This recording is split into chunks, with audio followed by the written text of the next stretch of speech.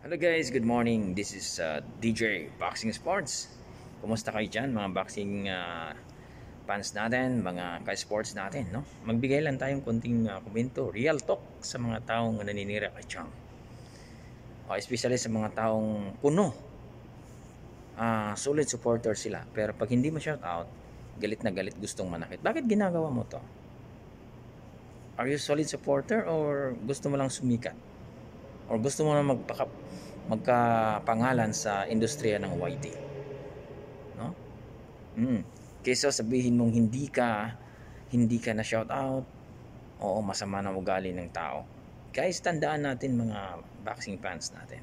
Si Champ Casimero ay nagla-live para po makita natin kung paano siya nag-training, hard training ngayon dahil po may laban na po siya this coming April 22 sa Liverpool, England kontra kay Paul Butler the Assassin. Di ba?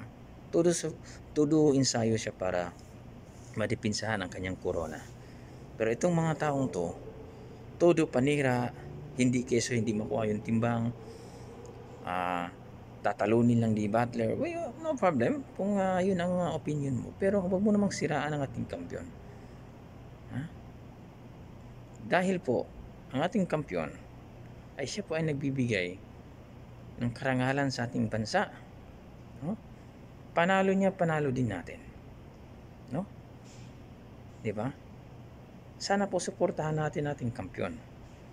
Do you think hahayaan ng kanyang manager, hahayaan ng kanyang uh, strength condi- conditioning coach na si uh, Chad Macias na hindi makuha yung timbang, no? Sana suportahan natin. Ako manawagan po sa ating mga kaibigan dyan, sa ating mga solid boxing uh, fans natin na suportahan natin ang ating kampiyon.